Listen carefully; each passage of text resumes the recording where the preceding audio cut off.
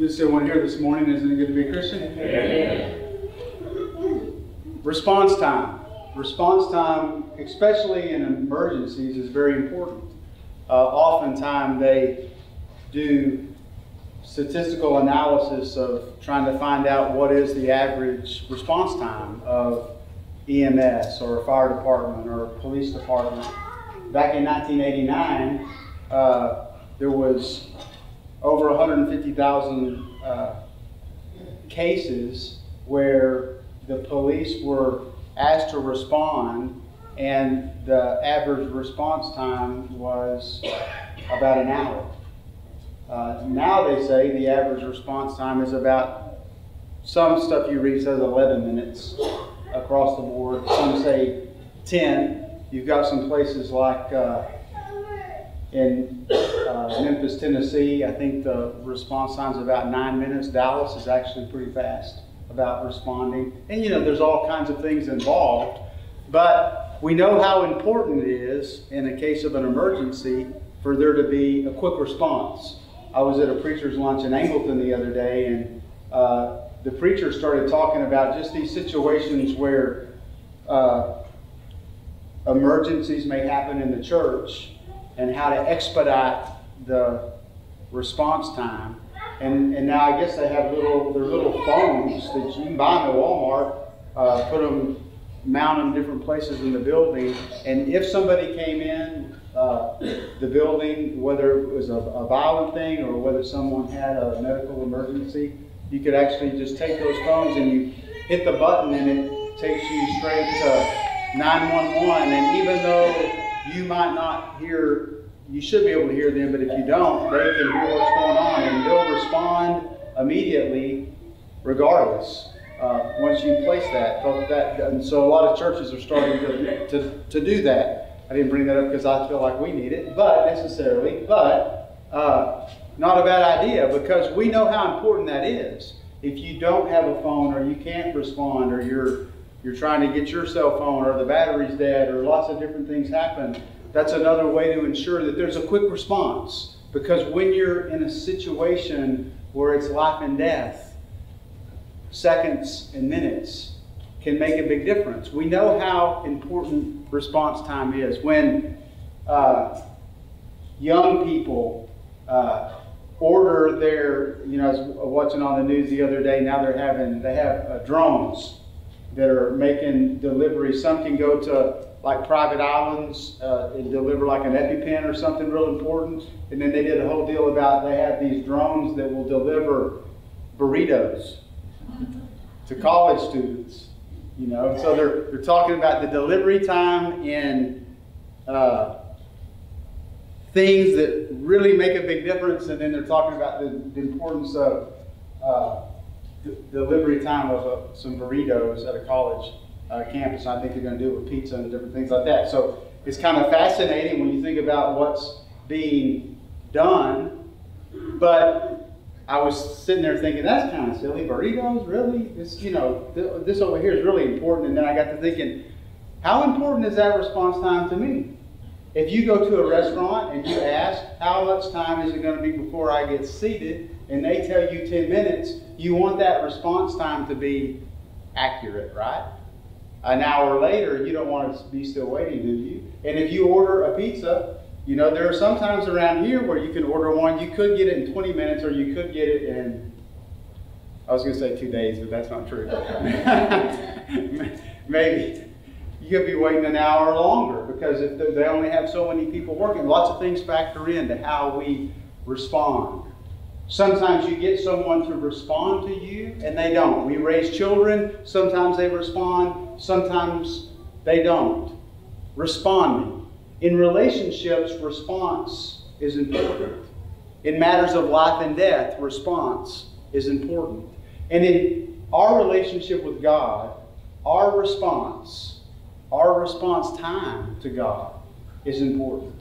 How do we respond? In fact, we read stories in the Bible about people, whether it's Adam and Eve, Cain and Abel, Abraham, Isaac, Jacob, all the way through to New Testament people like Paul and uh, Aquila and Priscilla.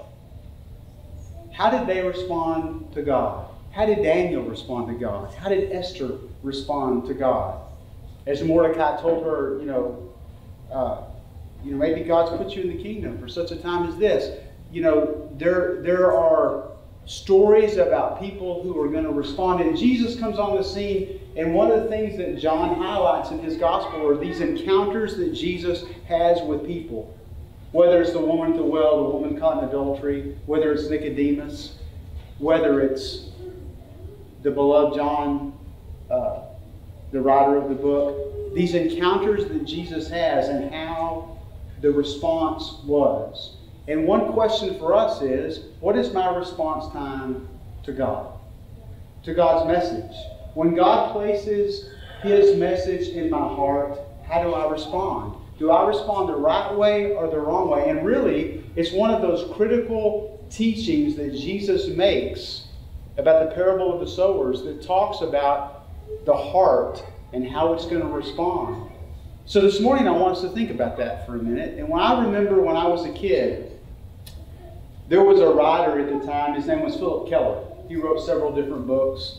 My dad and I read several of those books together. One was A Good Gardener Looks at the Parable of the Sower. Uh, another book was A Shepherd Looks at the 23rd Psalm. And, and they're written in kind of devotional format. He's talk, he takes his experience of being a shepherd with sheep and parallels it with that relationship. Well, one of the books he wrote was about, I, don't know if it was, it, I think it was, a, it was kind of a smaller book with an audio tape. I remember uh, with a cassette tape. Remember what those are? The good old days. Whatever happened? Eight tracks, cassette tapes, they've all gone by the wayside. Anyway, um, it, it was about the potter and the clay. And the experience of molding and shaping clay in this visual illustration we get in the Old Testament about God being the potter and us uh, being the clay. God works in our lives. In the book of Philippians, it says, He's at work in you to will and to act according to His purpose. God is working on me. God is working on you, trying to shape you and mold you to become the kind of person He wants you to be. And it says, if we're led by the Spirit, keep in step with the Spirit. So we see that we see it clearly pictured in the Bible that God is working in us. God is at work to do things. Both through His Word and providentially, God is shaping our lives so that we will be with Him. We see that very clearly in the Old Testament when we, we read the story of Joseph. Joseph, one of the brothers, got a bunch of brothers. They're jealous of him. They fake his death. They throw him in a well. They sell him into slavery. He goes off to Egypt. He gets in Potiphar's house. His wife tries to seduce Joseph. Joseph flees. He's put in prison. There's a butler and there's a baker and there's the stories and time goes on and on and on. And who was supposed to remember him?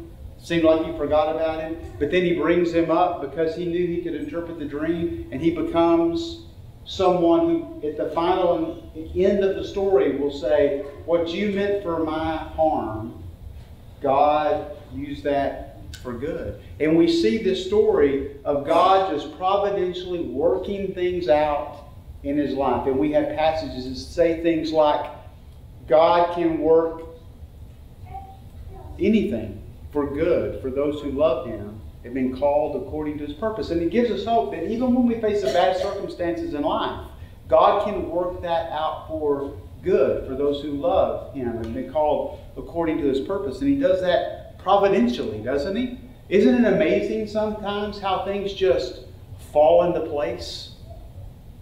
God is at work to will and act according to his purpose. He's shaping our lives. But in the Old Testament, God's communicating his relationship with Israel. And in Isaiah chapter 64, verse 8, he says, Yet you, Lord, are our Father. We are the clay. You are the potter. We are all the work of your hand. And so there's this picture of God with Israel shaping and molding and trying to influence them. And then in Jeremiah, we have this parable.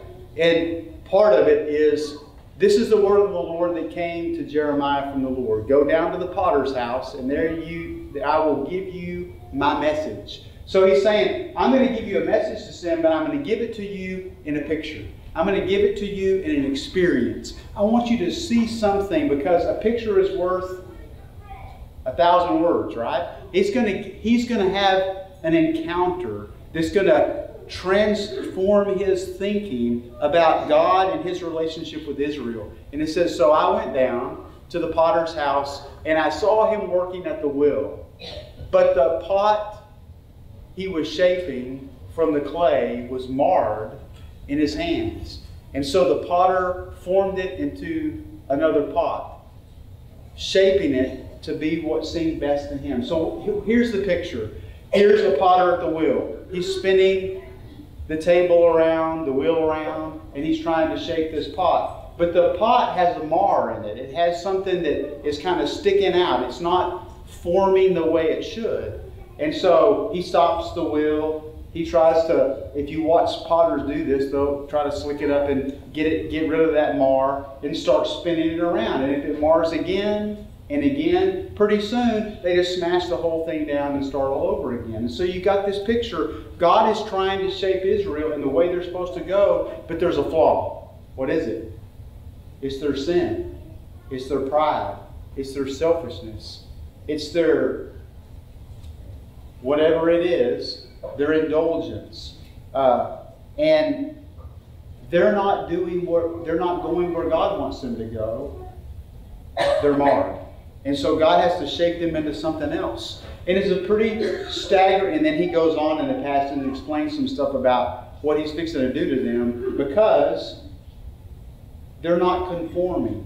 They're not like clay. And we sing some songs that kind of, I surrender, I surrender all. If you really say those words and take those words to heart as you sing them, that's a hard song to sing surrender all. Because most of us are hanging on to something. We haven't totally let go of everything. And so we see this picture of God shaping and forming someone's life, but he's not getting the response that he was after. Then the word of the Lord came to me and said, Can I not do with you, Israel, as the potter does, declares the Lord, like the clay in the hand of the potter, so you are in my hand. You're going to let me shape you, or I'm going to crush you and, and make something else out of you. And we know the history, right? We know about Babylon, Babylonian captivity. We know about the judgments of the Lord. We know what they went through to, for him to get to a point. We know the heartache and heartbreak God went through with Israel to get them to a point, but they kept on doing their own thing and they wouldn't respond to God in the right amount of time. And when you don't do that, things happen. And in our lives, it's no different. When we keep on pulling away from God, at a certain point, He's going to let us go. And we're going to fall into our sin and we're going to wake up with our head spinning, empty, not knowing where things are, and we're going to have to put the pieces of our lives back together. And just like the prodigal son, I mean, the father was shaping his life, and he said, Give me my inheritance. I'm going to go do my thing and spend his money while living. But he had a bunch of fair weather friends. When the money was gone, the friends were gone. He finds himself in a pig pen, longing to eat the pig stuff, the pods that the pigs were eating.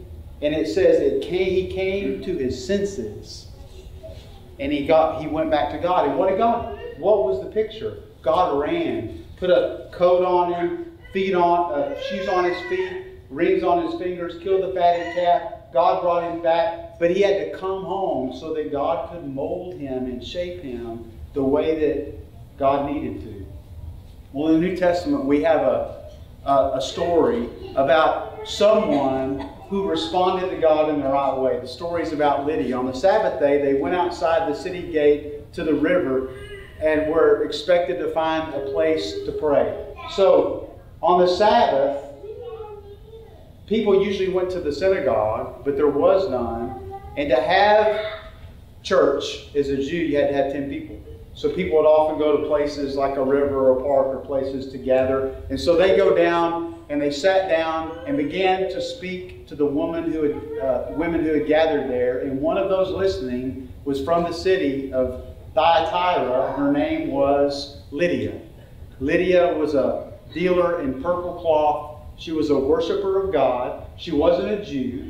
She was a Gentile that was believing in God seeking God, looking to Him as the one and only God. And it says that she she listens, and then the Lord opened her heart to respond to Paul's message. And when she and the members of her house were baptized, she invited us into her home. If you consider me a believer, uh, in the Lord, she said, Come and stay with me in my house. And they persuaded us. And then you have some other conversions after this, the Philippian jailer. And it's kind of a, just take some time this week maybe to reach Acts chapter 16 with this theme in mind of responding to the message of God. Because her response was she listened, she received, and she obeyed. Pretty simple, isn't it? I've studied the Bible, studied Hebrew, studied Greek. I read it all the time, but it's amazing to me. As much as I've read it, you know, every once in a while I'll just be reading something and it'll just hit me in a way that it's never hit me before. And sometimes it, it, it takes on a very personal nature with me. This is one of those passages because it gets back to that simple, basic truth. It's me. It's about me and God. And how am I responding to God? Am I listening to Him? Am I receiving what He's sending me? I mean, I communicate a lot of times to people the message and they don't receive it. I can tell. Half the time they can't remember what I told them, right? Maybe that's my fault. But sometimes later in their lives, I see things happen and I think they didn't ever get it. They didn't get it. They didn't. They weren't picking up what I was laying down. They they might have heard it, but they didn't receive it. They didn't get it. And I know the difference between hearing something all the time as I was growing up. My mom, you know, are you, you know, did you hear me? Are you listening to me? You know, yeah, I heard you. No, you're not listening to me. You listen to me. You've done what I said. You heard that before, right? I've been accused by others in my life that I'm not listening. But anyway, um, but she listened, she received, and she obeyed. So I want us to think about these three, this this this little simple story, because it, it's it's very powerful when you think about it and when you try to apply it to your life as a disciple. First of all, we just need to listen to God's word, whether it's from this book, whether it's music that communicates the message of God's Word, whether, whether it's a Christian based uh, program, whatever it, whatever it is, things that communicate things about the gospel, but especially His Word. There's no substitute for it. You, you have to spend time in God's Word, reading it, studying it, listening to it, but even the way you listen to sermons, are you listening? And what kind of things help you listen? Some people listen. They, I see people out there right now taking notes, writing stuff down. When I see that, guess what message that sends to my head? They're paying attention. They're listening, right? Because they're writing stuff down. Sometimes the girls uh, up here will show me after services, you know, that they will write down the points that I made. People will come up to me and ask me, "What is that message? What is that sending to me?" That message is sending they're paying attention. They're listening. Our, our hearts have to be exposed to the message. That's the only way we're going to grow. Faith comes by hearing, hearing by the word of Christ. You want to have strong faith? You have to get the message. You have to listen to the message. You know, now, now we have Sunday evening services are on. Uh, and not all of you come back. So Sunday evening services are on audio tape. Sunday morning sermons are on YouTube. There's ways to get the message, right?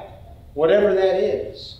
But are you listening? And there's a difference between hearing something, I'm told, and listening. right? And you know if you're listening to God or not. And even as a preacher, even as an elder, it makes you pause and reflect a little bit when you just stand there and think, looking in the mirror and saying, Am I really listening to God? And I can think of some areas of my life where I'm not paying attention. I'm not really listening to what God is telling me to do, or I would change my behavior, right? I would change the way I'm operating with something. And sometimes I have good intentions as a father, as a husband, as a preacher, as an elder. It's not about good intentions, right? It's about delivery.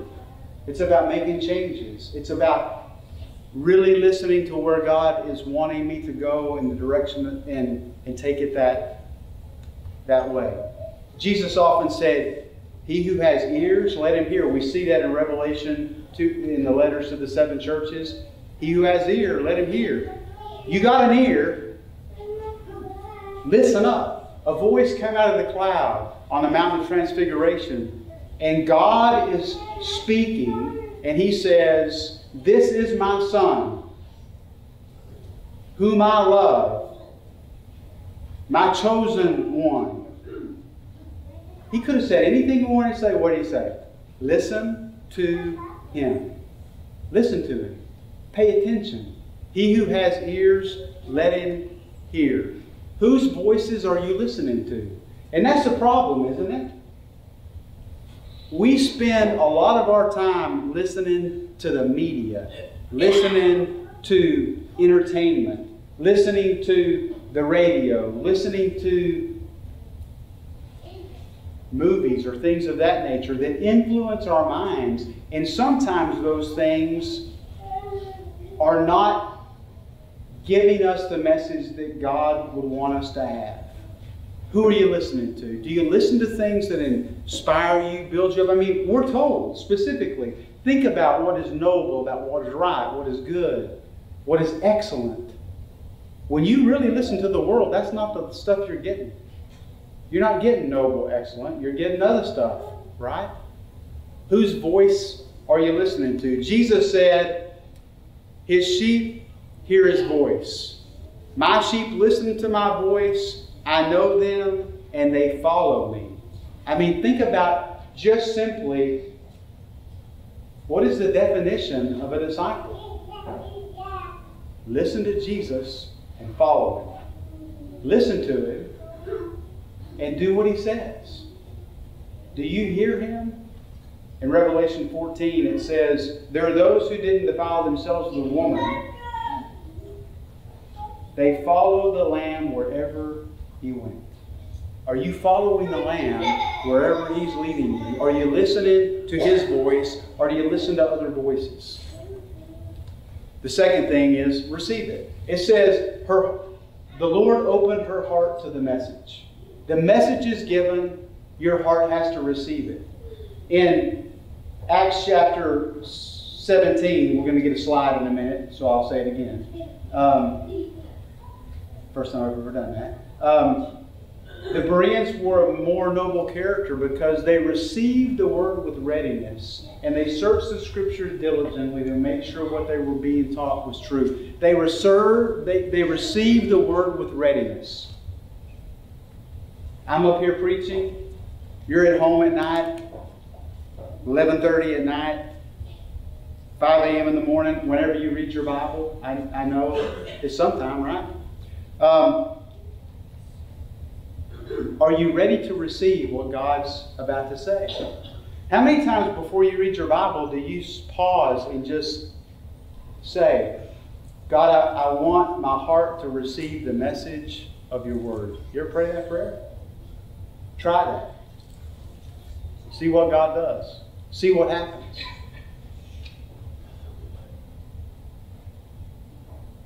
The seed is sown and we have our hearts have to respond to the message. Jesus talked about sowing spiritual seed.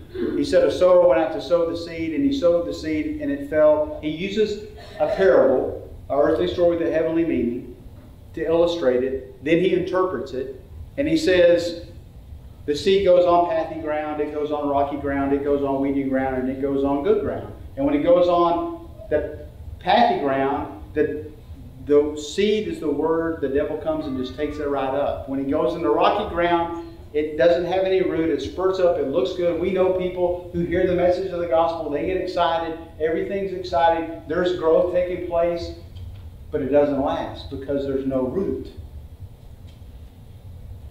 they shrivel up and die. And some of the seed gets in the weedy ground and it grows up in the wealth and the riches of this life, choke out the word. But some gets on the good soil and it produces good things. What kind of heart do we have? And the reality for me is, I got different places in my heart that are made up of different types of soil. I got some rocky ground, I got some stony ground, I got some good Lots of good ground. And some weedy ground. And what do you do if the ground is not what you want it to be in your garden? You take up the path, you get rid of the rocks, you get rid of the weeds, and you cultivate it. The same guy, Phillip Keller, who wrote the book and did the audio cassette thing about the potter looking at the clay, wrote a book called The Good Gardener Looks at the Parable of the Sower. And it's a powerful little book I remember reading with my dad. It's a guy way back, I mean, this is back in the 80s. Uh, yeah, probably even the 70s when I was, was reading these books with my dad. Um, the good old days. Bell bottoms, right? Um, cultivating good soil. How do you do that? You pray, you work on your attitude. Your attitude in worship should be something that takes place on Saturday, not Sunday morning when you're driving to the church. It's something that you prepare for. It's about attitude. I, you know, when I was a kid growing up, I remember preachers, and I remember when I was in Huntsville, we had the preacher from the A&M Church of Christ come over and uh, speak one time, and I remember him getting up, and, and one of the first little thing he talked about was that Sunday is the most important day of the week. Sunday is my favorite day. Sunday is the most significant day of my life because I'm a Christian. And I remember growing up with, with that kind of sentiment. The most important day is Sunday. The most important thing you can do is be prepared for Sunday. You go to, you, you know, we go to bed early for school. We make sure we got a lot of rest before we go to school, but we stay out super late on Saturday. Is Jesus worth it? Is it the most important day to you? I don't know about you, but I want Jacob and Andrew and all the kids uh, growing up, Nico and Abby and everyone in this congregation growing up with an attitude that says Sunday's the most important day because that's when God's people meet. That's when we celebrate the supper. That, that's, a, that's cultivating my heart. That's shaping me into a person that what is the most important thing? It's God's Word. That's the most important thing in my life. When I was a teenager, if you asked me if everything in your house was burning and you could go back for one thing, what would you get? I would say a Bible. I wouldn't have said that when I was 14 or 15. But when I was 16 and 17, that was the most important thing to me because it's the thing that changed me. When nothing else could change me, when nothing else made sense, when nothing else gave me hope, this is where I found it. Do you live like this is the most important thing? Or do you live like this is the most important thing? Do you live like your bank account or your job's the most important thing? Do you live like this is the most important thing? The way people drive and the way people act in restaurants and grocery stores, I would think this is the most important thing in the world. Is it? Jesus says, What does it profit you if you gain the whole world, yet you forfeit your soul? Now, the Bereans were more noble character because they received the word with readiness. they were ready to receive it. And when it is put on good soil, God will produce amazing things in our lives if we have a cultivated heart. And then the final thing is obey it. The story is simple. Jesus said, The person who hears the word and puts it into practice like a wise man who built his house on the rock. He went down to the bedrock, he built it, the floods came, and his house stood firm. But the foolish man built his house on the sand, and the rains came, and the waters rose, and his, house, his house, the, the children's song says, went splat. To me, this is a beautiful teaching of Jesus because he's telling me, Russell, you want your life to be strong? Listen and obey. Simply obey what I say. Ah, the Jews are coming to Jericho. March around it seven times. On the seventh day, seven times. Blow the trumpets, the walls will fall down. That wasn't very strategic, but they simply obeyed God and the walls fell down. Those are things that my heart hangs on to as a Christian because I believe if I'll simply obey God, it's all going to work out. And it always does. And Jesus is saying, You want your life to be strong? Do you want it to have stability when the things in life come at you and crumble you? Do you see people who go through suffering and their faith slips away from them? Do you see? There used to be a book that Lynn, I think Lynn Anderson, I think I'm correct here, wrote it called Fallen Shepherds Scattered Sheep. What's the picture there? Elders who fall away, who mess up, who make mistakes, they fall. Preachers make mistakes, and when, when they fall, the sheep scatter. That's the picture. I want to have a life that when whoever falls, I stay stable. I stay steady in the boat. I want to have a faith that sustains me no matter what happens.